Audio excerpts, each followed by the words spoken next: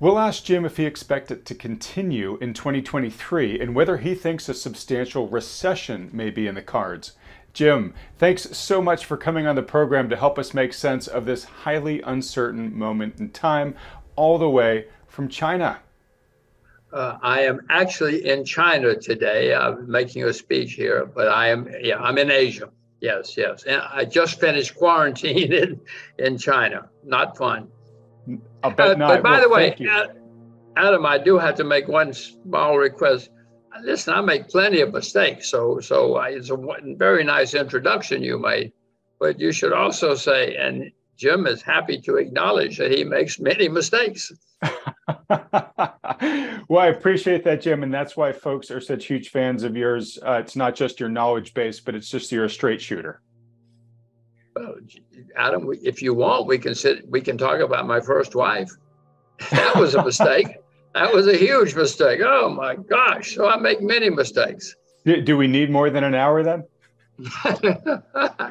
days, days. But okay. I will tell you, you know, I did happen to, to run into her a little while back, and I am so glad I'm not married to her anymore. At the time, it was seemed terrible, but oh my gosh, what a great mistake that was. well, I'm glad you can smile about it now. I certainly hope you weren't running into her with a car. No, no, no, no. It's quite by chance. It doesn't. It doesn't matter. But it was a, another accident. okay. Well, look, um, we are talking here. This video, uh, video is going to be airing uh, during Thanksgiving week. And so just let me be one of the first to wish you a happy Thanksgiving from America, Jim, while you're there in China. Um, and we're very grateful to have you take the time while you're there to, to come on this program. Um, I got a lot of questions for you as usual. Um, but if you don't mind, I'll start with the, the general one I like to kick these discussions off with. Um, any answer you have is fine. What is your current assessment of the global economy and financial markets? Well, the, the current assessment is, as you know, we had a big problem in 2008 or so, and then central banks and governments around the world started printing and spending and borrowing money like never in recorded history. So, Adam, if you give me a few trillion dollars, I'll show you a very good time. I mean, you know, the world economy has been flooded with money and spending uh, since then. America has never gone so deeply in debt so fast um, as we have done in the last decade, more than a decade now, 13 years. So, yes, we're all floating on a bit of uh, artificial stimulation. Uh, it always comes to an end, no matter how much you, you pump into the economy. It seems to be coming to an end. Inflation is coming back, which leads to higher interest rate. And some people are starting to say, wait a minute, this is too much debt. This is absurd not everybody. I mean, the Japanese are still doing it, yeah. but some people are starting to question how much more we can do. So I'm not sure if the world has come to an end yet, but I do know it's going to come to an end eventually in the form of another bear market. And you remember 2008? We had a big problem because of too much debt. Well, Adam, look out the window. Since 2009, the debt everywhere has skyrocketed. The world has never seen anything like this accumulation of increase in debt. So the next bear market has to be the worst in my lifetime.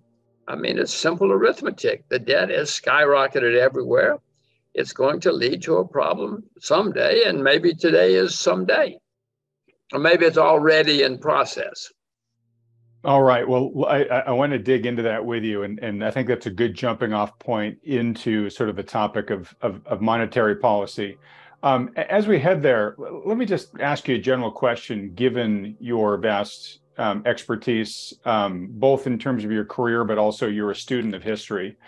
Um, when the debt gets out of control uh, for a nation, um, it, it really only has two choices right? It, it, it has to let defaults clear all the bad debt, which is hugely painful in the immediate term.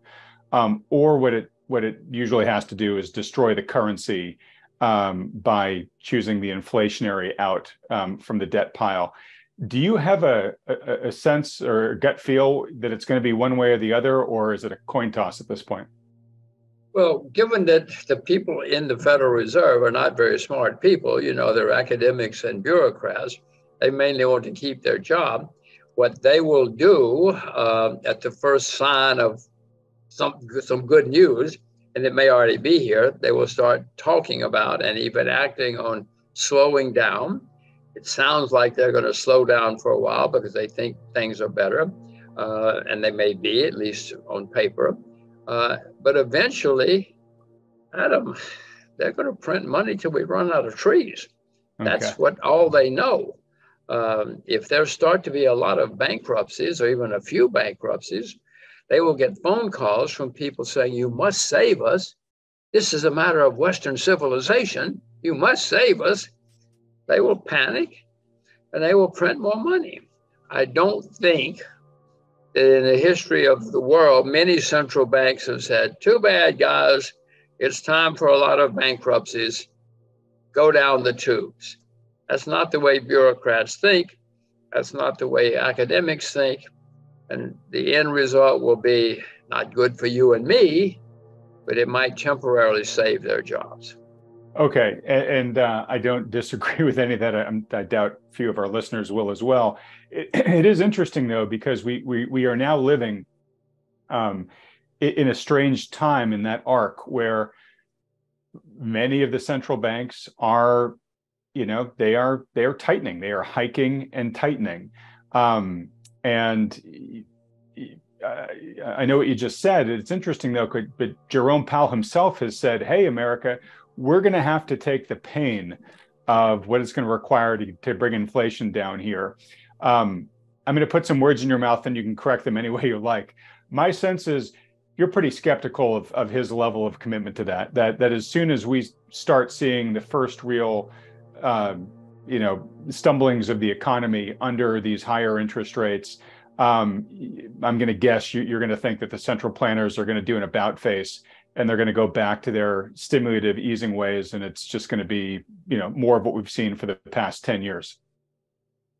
Well let's go back to the last time something like this happened which was the 1970s inflation kept getting worse and worse and the central bankers made it worse and worse. But then the president it was jimmy carter at the time said to paul volcker who he was going to appoint as he did appoint as head of the Federal Reserve. Volcker was a, a bureaucrat, but Volcker understood the situation. And Carter said to Volcker, You do whatever you have to do, and I will support you. Mm-hmm. Now, Volcker didn't believe him at first, but Carter reassured him that he could do anything he had to do. And, and in the end, of course, Carter lost the election because Volcker did right. what he had to do. Volcker knew what had to happen. I mean, this will shock some people, but interest rates on treasury bills, short term US government treasury bills went to over 21%. My goodness. That's not a typo. 21% on treasury bills because Volcker tightened and tightened and tightened. He and, and Carter said, okay. Carter said, okay. Well, it, it caused bad times, but it killed inflation. Carter lost the election, but it did kill inflation. I don't think that there's a politician in uh, the land today who would do that or support that. And I'm not sure that many bureaucrats. I don't see this guy we have now as another Paul Volcker. And again, you know, in Japan, the head of the central bank has said, I will print his word, unlimited amounts of money. And he's doing it. And the Japanese politicians say, do it, do it, do it. I mean, unlimited. It's unbelievable how much money that guy prints. But it's so he is not certainly not a Paul Volcker. Uh, I don't think we have a Paul Volcker in the U.S. And eventually they will cave in.